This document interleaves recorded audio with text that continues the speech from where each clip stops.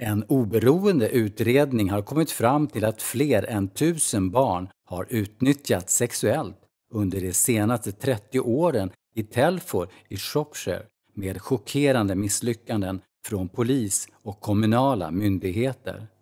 Utredningsordförande Tom Crowther säger att onödigt lidande och till och med barns död hade kunnat undvikas om West Mercia-polisen hade tagit ansvar och gjort sitt jobb när det gäller att agera på rapporter om sådana brott. Information was not properly shared between agencies. Key agencies dismissed child exploitation as child prostitution. Key agencies blamed children, not perpetrators, for exploitation. Exploitation was not investigated because of nervousness about race. Enligt utredningen som publicerades den 12 juli avskräcktes lärare och ungdomsarbetare från att rapportera om sexuella övergrepp av barn. Detta ledde till att förövarna uppmuntrades och sexuellt utnyttjande av barn fortsatte i årtionden utan några åtgärder. For decades, CSC thrived in Telford, unchecked.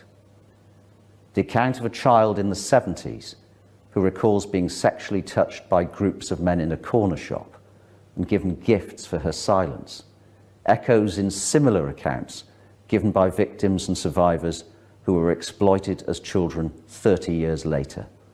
Only the nature of the gifts had changed. No longer sweets, but mobile phones and top-ups. En flicka, Lucy Lowe, blev gravid vid 14 års ålder med Assar Ali Mehmood. Två år senare, år 2000, dog Lucy.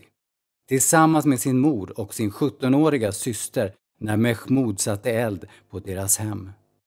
The evidence shows, though, that these concerns and reports were largely not taken sufficiently seriously by the Council, by its predecessor authority, or by West Mercia Police. Failure by these agencies to investigate emboldened offenders. Failure to safeguard children properly put children at risk.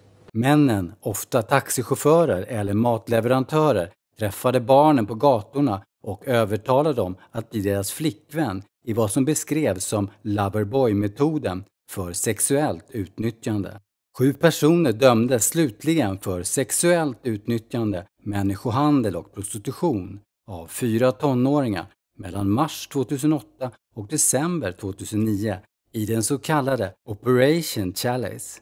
Crowder sa efter rättegången att polisen och kommunala myndigheter minskade antalet specialister till praktiskt taget noll för att spara pengar. A focus on abuse within the family at the expense of extrafamilial exploitation. Overcaution about acting in the absence of, quote, hard evidence, that is, a formal complaint from a child about exploitation. And a nervousness that investigating concerns against Southern Asian men in particular would inflame racial tensions. West Mercia-polisen och kommunala myndigheter i Telford och Wrekin bad om ursäkt till de utnyttjade offren.